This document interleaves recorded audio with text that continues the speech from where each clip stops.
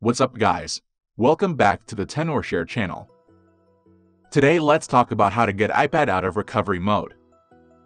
Usually you see this screen when you update or restore your iPad using iTunes. But sometimes it got stuck here without moving forward. You try to restart it, but it just keep looping. No worries, things can be easily solved by using couple ways in today's video. Super easy. Want to know how? Let's jump right in.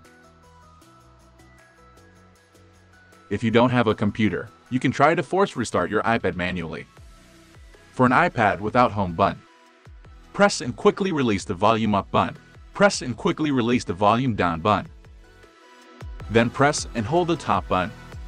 When the Apple logo appears, release the button.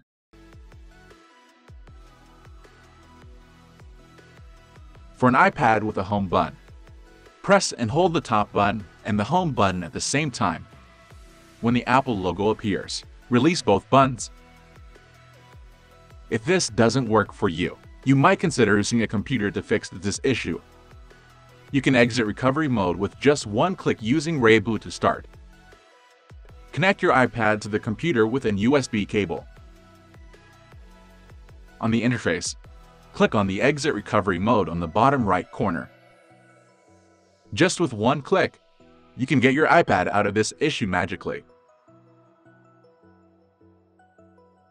If you're still stuck on this situation, you might consider using the standard repair feature of ReiBoot, which can also help you preserve the data. Click on the green Start button and choose Standard Repair. Go on with the Download button. ReiBoot will get the latest firmware for your iPad. When the download is finished, click Start Standard Repair button to proceed. This process usually takes about 10 minutes. Please wait patiently.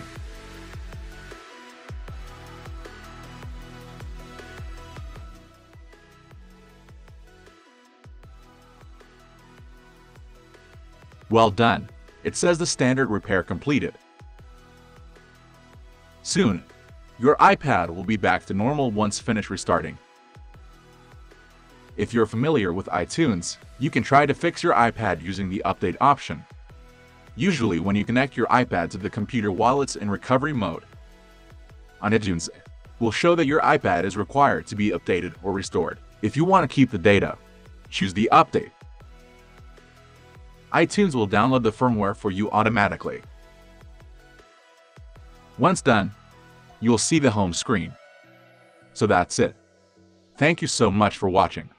Have a nice day. See you in the next video.